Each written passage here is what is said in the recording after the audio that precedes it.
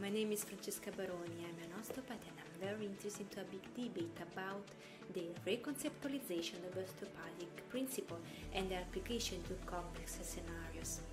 During the CPD course in Paris, the next 16 of May, we will discuss about one of the most important tenets, the body mind spirit principle. And today I have three questions for you. One, is there a place for this tenet in an evidence-based practice? 2. How can we contextualize body mind spirit principle into our clinical practice? And 3. How can we apply complexity science into osteopathic field? We will answer together to this question the next 16 of May during my presentation. So, see you there. Bye.